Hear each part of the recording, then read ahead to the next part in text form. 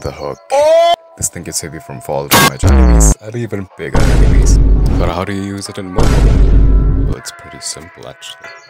Start off by going to settings, then go into touch controls, click on edit, click on controls here, and then click on this button, and click on your hook.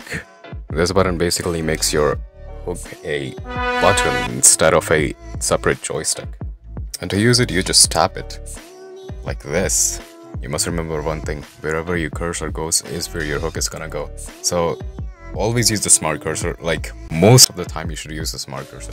Because with the smart cursor you can just move it with your joystick instead of having a separate control.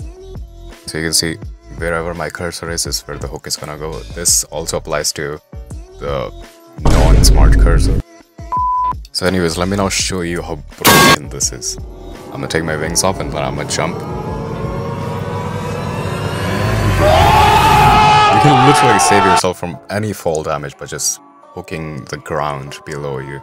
You can also use this to fall slower in a constricted space like here, there, there, there, and here I am.